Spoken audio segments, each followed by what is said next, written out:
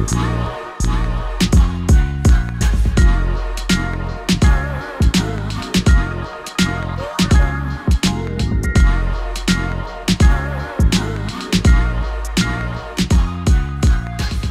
most of my life I've been very creative and I'm more like a guy who puzzles things together, you know? I'm not like inventing the wheel again, but I uh, see lots of different parts that I can combine and I create something that I have in mind. And I think that's the creative skills I appreciate the most to make a final product.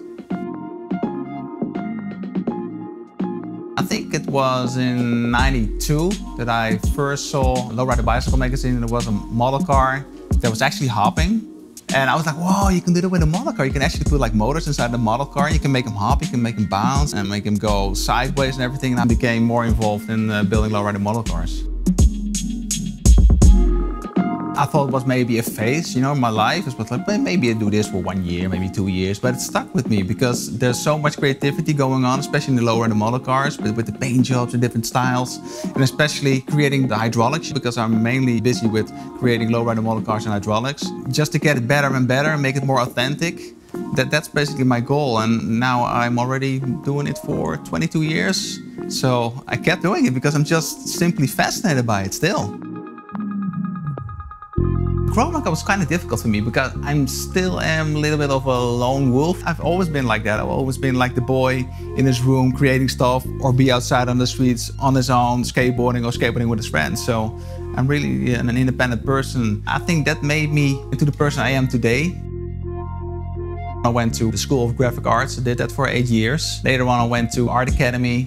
I did that for maybe a year and a half because I felt it didn't fit in. Then I started for myself and I started doing video magazines, building skateboard parks and basically everything that inspired me, just what I had in my mind, I could create. And that was something I was really blessed with, that I could school myself, teach myself, learn stuff to create what I had in mind.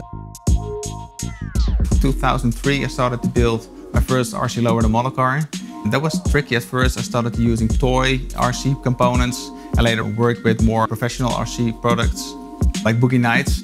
It's a collaboration between me and Amanda Flores. I developed a new type of setup with servos, micro servos that I modify so they can lift the rear and uh, lift the front and direct control the servos pushing down the cylinders to lift the rear of the car.